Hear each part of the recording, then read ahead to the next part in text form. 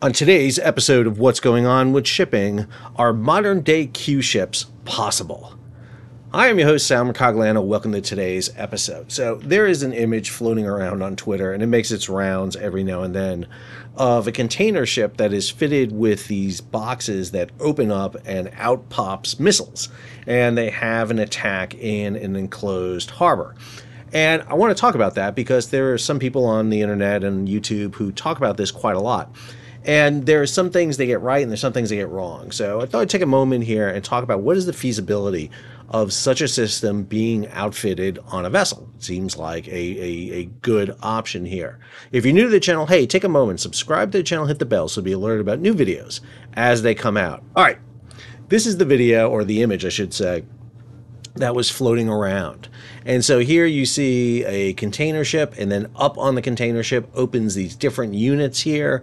You'll see some of the containers will uh, basically uh, elevate up, and out comes a whole variety of different missiles. You see some going into a 90 degree launch mode. You see some control units right here, and then you see a sampling of different Chinese style missiles going out. And I'm going to show this slide again in a minute with translations superimposed on it. But that's the image you see. And this is not a new idea at all. Matter of fact, the title of this video is Q ships. And you can go back to the age of sail and see where merchantmen and, and merchant ships were converted into warships. One of the most famous warships in the U.S. Navy, the Bonhomme Richard, was a converted uh, East India uh, freighter. The first vessels of the U.S. Navy were converted commercial vessels. But Q ships are a little different because Q ships operate under this idea of basically a disguise. And it really gets its name from the place they operated from, and that was Queenstown, Ireland. This is during the First World War. Queenstown is now known as Cobh. But Queenstown would dispatch these vessels, Q ships, hence the, the, the, term. And what these vessels were, they were meant to look like normal merchant ships, but they were heavily armed. And what they would do is disguise the weaponry on board. The goal here was to basically flush out a German submarine. German submarines in World War One were more effective than they were in World War Two, uh, and German submarines torpedoes were terrible in World War One, absolutely horrible. And so one of the things that German submarines would do was actually use either gunfire or actually board vessels and have the crews abandon ship, set charges, open up the sea cocks, and scuttle the vessels. And the goal here was to disguise merchant ships, give them huge armament so that when the U-boats surface and they start sending over their crews in these little inflatable boats, they would drop the uh, side ports and open fire and sink submarines. They were actually a little bit effective initially. The problem is the British begin to arm all their vessels. Even in World War I, the U.S. follows that with a ship called the Santee. Uh, the U.S. operated one Q ship. This is her. Uh, she went out on one mission, got torpedoed on the first mission, and then was repaired and given back to the uh, British. And Q ships have been used throughout history. We've seen types of vessels like this, where you take a commercial vessel and outfit it. In World War II, I would argue where you saw commercial vessels outfitted as warships was really in the conversion of uh, merchant ships, freighters and tankers into escort carriers, where you put flight decks on them and use them. Now, they were taken over by the Navy and they were brought within the U.S. Navy to use. On commercial vessels, you would have armed guard detachments but they would still maintain their civilian crew. So this image is a really important one. Let me pull it up here. So here's the image with some translations uh, superimposed on it. So right here, containerized face-to-face strike integrated combat system. Now I'm gonna say right off the bat, I Google translated this. I am not fluent in Mandarin. So this is what I, I pulled up. But the missions here were really interesting. Attacking the enemy fleet, attacking enemy convoys, attacking enemy ports. And so a couple of things I want to get out of your mind off the bat. Number one, the concept that you load these units on a ship and the ship doesn't know about it is highly unlikely for a variety of different reasons. Number one, these containers are heavy. They're heavy because of the weapon system on board. And the only way these systems work is if they're on the very top stack of the containers pile. There is no, it is up to a myriad of systems that determine where containers go, but heavy containers go toward the bottom. They are not. You put the lightest containers on top. And not only are the lightest containers on top, but these missile, these systems, because of the configuration here, particularly this 90 degree system and where these things uh, uh, turn, you would have to make sure you got these containers facing the right way. Plus, these container systems would require power sources for them. Now, they may have batteries that allow them to run for a set period of time, but you would eventually need a power source. And there are finite numbers of plugs on board to plug units uh, on a container ship. And if you're plugging units, you're not stacking them up high. I can tell you that much right now.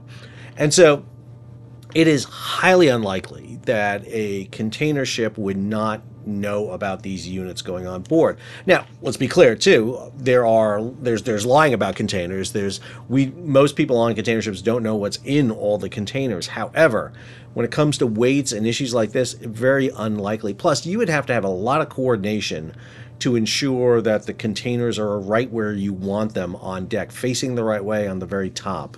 This involves cargo, stevedores, longshore, you name it, a variety of different elements to it. The other element is that these are shipped on board container ships into ports and then brought around the country and, and, and, you know, with a push of a button, they'll pop up and start firing. Well, you, same issues apply here. Number one, power. They need power to work, either batteries or a generator or plugged in. And if that's not happening, they're, they're not going to be able to be used. Second, this is going to have to get through the CBP, the Customs and Border Protection screening process. And as much as we joke about the fact that CBP doesn't really get a chance to do a lot, they actually do. And one of the things that is is screening containers. They go through screening, even though a very small percentage of containers are ever open in the United States, maybe two to three percent tops. You go through screening materials where you can basically see what's inside the containers. And if containers don't match up to what's supposed to be inside them, if they manifest this thing to be carrying barrels of, of oil or or pallets of, of of food and that's not what they're seeing in the screening that's going to flag them plus where do these containers come from? That's the other element that would be tracked. I'm not saying it's impossible let's be clear. I mean things are smuggled into this country all the time. But a very low probability that that happens, which really brings up the third probability that ships are specifically outfitted by nations to mount these vessels. And that, let me be clear, is a potential. That is the one potential I would argue that you could see where a nation, Russia, China, Iran, the United States, whoever, decides to take a container ship and on the top deck outfit it with the style of vessels, basically turning it into a Q ship, into a missile ship of some kind. The problem with that scenario is this is container ships just don't show up off ports. They follow set routes. Even though there are thousands of container ships out there, they follow set routes, set patterns. They are squawking on AIS, the automated information system. And to have a ship just arrive at a port without any kind of knowledge or for, you know uh, uh, precursor is very unusual. Now, I'm not saying it can happen. Again, it can happen. And again, you could see that happen. Uh, we could see this vessel spoof another vessel that's supposed to be arriving there. That happens a lot. We've seen a lot of spoofing going on in the Black Sea and the Baltic during the Russian Ukraine war. So you can do that. And the potential does exist that you could have a vessel that all of a sudden arrives and, and unleashes a series of missiles. It could strike ships at anchor. It could just strike an enemy fleet. What if you bring a container ship into the port of Norfolk, for example, that has these weapons on board? Can they hit the Atlantic fleet sitting there? Potential can exist for that to happen. I will also mention that this vessel that is equipped with these missiles would have very little defensive armament at all on board and not be able to resist a lot of damage, uh, which would make this basically a suicide mission for the crew on board. But it does exist. And this has been looked at a variety of times. Back in the 1980s, the US Navy developed the idea of the Arapahoe concept, where they can convert container ships into this. The British did it with the Atlantic Conveyor, outfitting that vessel to launch Harriers and and uh, heavy lift helicopters during the Falklands War. And we've seen this concept done before. Uh, one of the issues has been, for example, for the United States, is it doesn't have a lot of unused container ships sitting around. Uh, there are going to be a lot of container ships sitting around with the new builds that are going on right now. And so the potential there for tracking them. And this is one of the reasons why it's really important for nations, for coast guards, for ports to track entry and, and exit of vessels in and out of their ports. I would hope that U.S. defense systems and, and organizations are tracking worldwide ships coming in. I would hope Singapore would have a system in place to track the arrival of vessels in and out. The problem is it has a lot of vessels transiting just outside its port which could bring this type of weapon system to bear. So this is not as science fiction as some people make it sound. At the same time, it's not like you're going to be steaming on a container ship and all of a sudden the containers pop open and start flinging missiles and you didn't know about it. That's unlikely to happen. But this is a system that needs to go. This is irregular warfare. This is asymmetric. This is the type of things that we see that could potentially happen. I would add another one to this, which isn't in this vid- in this image right here, but fishing vessels, which could carry uh, underwater and surface drones, and even torpedoes or mines, are all dangerous type weapons. And you could see the, the kind of precursor for this. Remember, the U.S. got struck by an asymmetric attack to start the war in the Pacific it wasn't just the fact that the Japanese launched an aircraft carrier strike to them. They used weapons that we had no idea about, uh, long lance torpedoes that were modified to operate in shallow depth. They had high altitude bombs, modified 16 inch shells that were dropped, and they used two person submarines to attack. Plus, they attacked at a distance that nobody thought anybody could deploy a fleet over nearly 4,000 miles when the U.S. was talking about that we could only range a fleet 2,500 miles. And the Japanese didn't just attack Pearl Harbor, they attacked all across the Pacific, including the west coast of the United States. And so, asymmetric style of warfare is something to be worried about.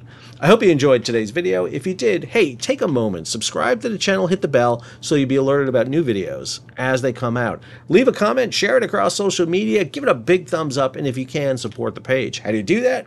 Well, you can contribute directly to the page by hitting the super thanks button down below or heading on over to Patreon. You'll see a uh, image pop up here of uh, Patreon. You can click on that or down in the show notes and you can become a monthly or yearly subscriber. Until our next video, this is Sal signing off.